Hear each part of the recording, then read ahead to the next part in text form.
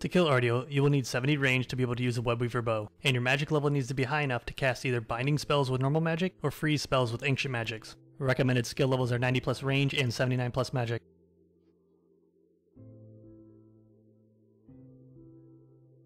If you're only focused on killing the boss and don't really care about anti-PKing, this is the gear setup that I recommend you wear. The most important part about this setup is the charge Webweaver bow. I typically put 2k ether in my bow, but please feel free to put as much ether as you're comfortable with risking in the wilderness. The Webweaver's special attack is really good to use here as it can do a lot of damage to the boss, and the special attack only takes 50% to use. Another important thing about this setup is the Lightbearer ring. The Lightbearer ring will regenerate your special attack energy twice as fast as normal. Since the main focus of this setup is to kill the boss, the Lightbearer ring will allow for you to get more special attacks off during your trip, which can mean more boss kills per trip. This setup also provides a good combination of range bonuses, magic bonuses, and prayer bonuses. For the inventory, I recommend bringing 6 super restores, 2 Saradomin brews, 2 4 dose ranging pots, 1 stamina and 1 anti-venom, a looting bag, a charged glory, and either blighted ancient sacks or blighted entangle sacks to be able to freeze the boss. And the rest of the inventory should be filled with anglerfish or the best food you can afford. You can bring along a different teleport option other than a charged glory if you prefer. Since the boss room is in 21 Wilderness, you can tele out with a Ring of Wealth or Seed Pod if preferred. The Seed Pod is definitely the best option to use here as it is one-click tele in case a PKer comes.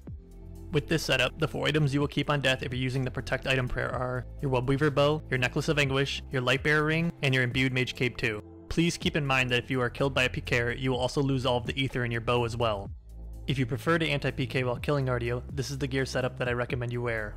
Since this setup is focused on killing the boss and anti-PKing, I recommend wearing an Imbued Ring of Suffering filled with recoils if you have it.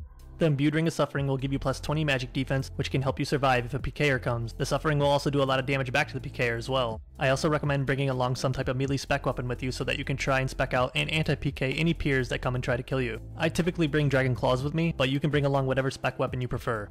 For the inventory, I recommend bringing 6 super restores, 4 Sara Brews, 1 4 dose super combat potion, 1 4 dose ranging potion, 1 stamina and 1 anti-venom, a looting bag, a charged glory, a melee spec weapon of your choice, and either blighted ancient sacks or blighted entangle sacks to freeze the boss and freeze any PKers that hit you, and the rest of the inventory should be filled with anglerfish or the best food you can afford. With this setup, the 4 items you will keep on death if you're using the Protect item prayer are your Dragon Claws, your Webweaver Bow, your Necklace of Anguish, and your Imbued Ring of Suffering. Also keep in mind that if you are killed by a PKer, you will also lose all of the ether in your bow as well.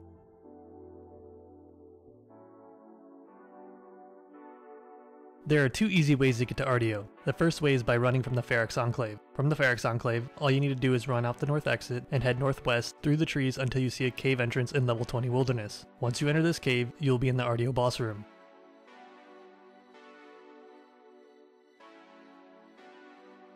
The second way to get to Artio is by teleporting to Carrallanger. You can do this by using a Carrallanger portal in your POH, or using a Carrallanger teleport tab, or by teleporting to Carrallanger with Ancient Magics. I typically just use the POH for this method, as I like to hit my max pool first before I kill Artio. That way I know that my stats, my prayer, and my run energy are fully restored. Once you tele into Carrallanger, all you need to do is head directly west until you reach the cave entrance.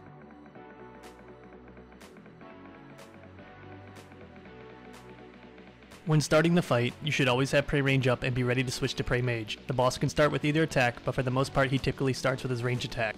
When the boss does spawn, you should try and freeze him immediately. You can use Ice Blitz, Ice Barrage, or Entanglement spells for this. Artio's range attack looks like a crescent-shaped projectile, so when you see this attack, just pray range.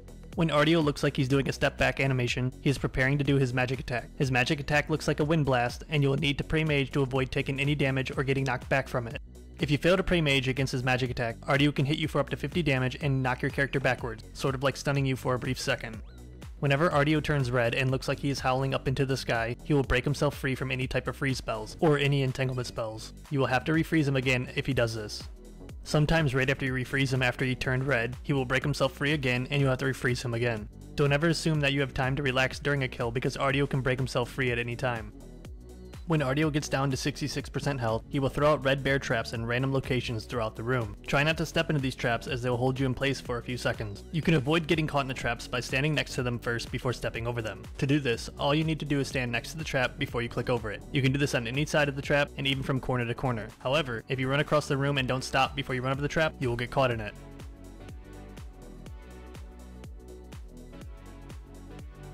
If you're worried about accidentally skulling on someone in the wilderness, you can turn on your PK skull prevention by going into your controls setting by clicking your wrench. Make sure that the PK skull prevention has a green check mark next to it, and that will mean you can't skull on other players in the wilderness. If you have an alt account that you can use and you're worried about dying to PKers while doing Artio, you can always leave your alt account outside of the cave so that way you'll have an extra set of eyes outside of the cave to see if any PKers log in or to see if any PKers are coming. And that was my 60 attack, 1 defense pure guide on how to kill Artio. I hope this guide has given you some clarity on what items to bring and how to kill the boss. If you have found a better method to kill Artio, please feel free to let us know in the comments below. If you have enjoyed this video, please give it a thumbs up and subscribe to the channel for more guides like this one. Thank you for watching, good luck on your pet grind, and I hope to see you in the next guide.